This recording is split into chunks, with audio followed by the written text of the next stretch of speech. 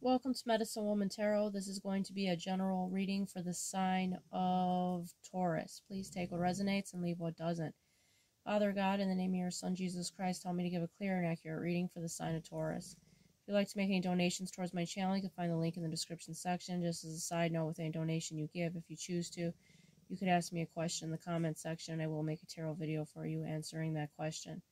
I want to apologize in advance for any background noise you may hear due to the dog snoring. I scoured the crystal ball for you today, and the image that appeared within the crystal ball has uh, lots of meaning behind it.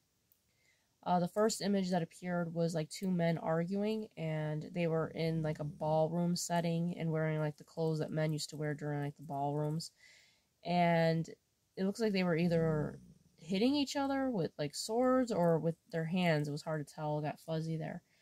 And the image changed then where the man that was fighting with him had his arm like around uh, a female and she had shoulder length blonde hair and she was like in a ballroom dress as well and wore white gloves. And it's like he was trying to protect this female against this male that was um, standing in the doorway. He had like dark hair and all i could see was the back of him.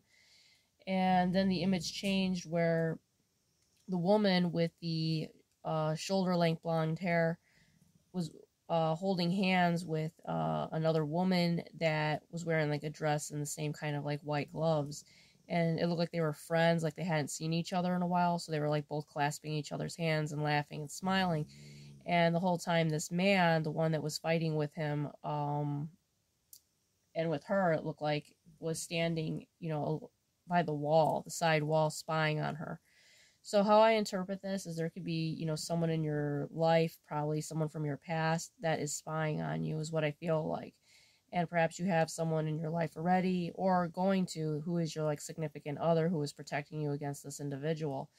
And, you know, but this person is spying on you, you know, they spy on you when you're, you know, with your friends or, you know, whatever you're doing, it seems like they're just observing you because they're coming from this like very uh, jealous, angry energy where they're, know, trying to just like they're like obsessed with you is what I'm seeing here, and they're coming from like a low vibrational energy.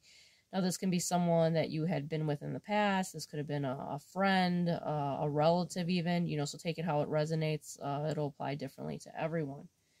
But the first card to come out for you today was the Knight of Wands. So with the Knight of Wands being here, I feel like this is the energy of this negative individual. I feel like they're trying to come in very quickly. This is someone that's very rash. They don't think before they leap. This is someone that is very flighty, kind of a non-dependable energy. And I feel like they're coming in very quickly, trying to enter back into your life, and they're trying to come back with this Knight of Swords energy, you know, of not missing an opportunity here. So they they see you as an opportunity, and they're moving in very quickly. Next card out for you is the Five of Wands. So this is like with arguing. They want to cause arguments. They want to cause disputes and fighting and drama within your life. Next card out is the Fool card because they believe in the past you took a chance on this individual here.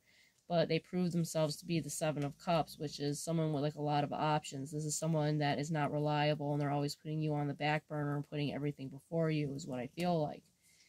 You know, what they're, this is the energy I'm like feeling like they're, they're trying to, um, trying to like sh- always like I'm trying to word this right. There's like this, this is the energy that I'm feeling like they're always trying to, you know, make you feel like they're always trying to put you on the back burner, trying to like make you question your worth is what I feel that they're trying to uh, you know, come back in your life to do. They're trying to put you in a negative um, state of mind. Next card out is the Ten of Wands because they want to cause you burdens, they want to cause you heartache.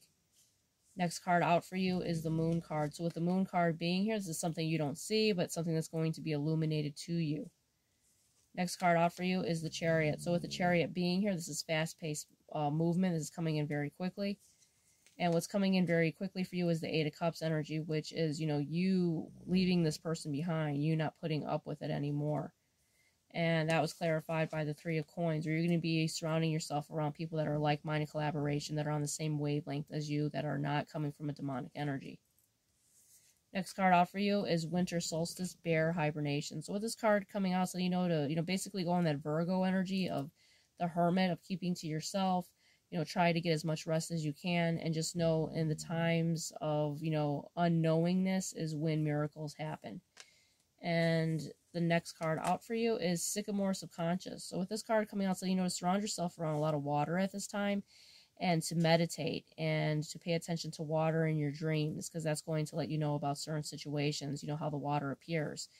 And it's letting you know to release any, you know, past traumas or past wounds or even like the wounds that this person has caused you. Try to release it. I know that could be easier said than done, but try to release it so that you can move on and not have them, you know, in your mind or in your energy.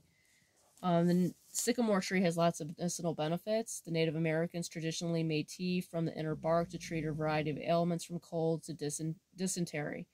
Uh, the sycamore tree usually grows along water, so it's always near water. So it's letting you know at this time that water is going to be very helpful for you, helpful for you, you know, to meditate, you know, and feel a connection, you know, to God. You know, so surround yourself to you know, water and, you know, basically meditate, you know, say your prayers to Jesus and just like kind of block out the world and, you know, try to clear your mind from this person's like negative energy.